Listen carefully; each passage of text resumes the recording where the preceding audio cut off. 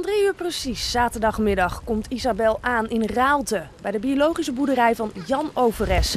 En daar, vlak voor aankomst, barst een enorme wolkbreuk los.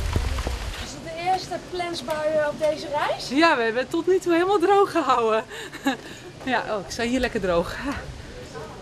Weer opgedroogd staat er een rondleiding over de boerderij op het programma. Uh, we hebben voor vaste mest gekozen omdat drijfmest, daar zit aan de urine en de mest bij elkaar in. Dat is eigenlijk uh, niet zo goed voor de grond. Een beetje, een beetje ongezond kun je wel zeggen. De aandacht voor biologische landbouw is politiek gezien nog altijd een ondergeschoven kindje, vinden de boeren. Nou, in het algemeen is er heel veel aandacht voor schaalvergroting en daar gaat ook heel veel geld naartoe in het onderzoek. En ik, ik wil gewoon duidelijk maken dat familiebedrijven heel erg goed kunnen boeren. En vooral de BD-landbouw wil ik onder het voetlicht brengen.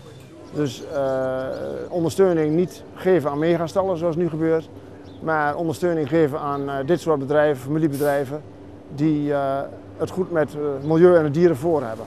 Op de fietstocht langs de verschillende biologische bedrijven worden foto's gemaakt die later aan de bestuurders in Brussel worden aangeboden. Ja, we hebben een brunch om 11 uur met uh, de parlementariërs. En dan bieden we met elkaar, dus ook met Slow Food en met de Milieudefensie, bieden we allemaal foto's aan die we onderweg maken en proberen ons statement te maken.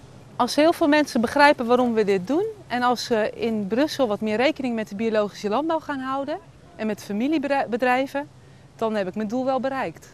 Mensen die hier komen merk ik ook aan soms dat ze eigenlijk helemaal niet op de hoogte zijn. Dus het is eigenlijk een voorlichting geven aan aan bestuurders van uh, kijk, kijk er eens op die manier naar of op een andere manier naar. En, laat je niet leiden door, ja, door alleen maar geld.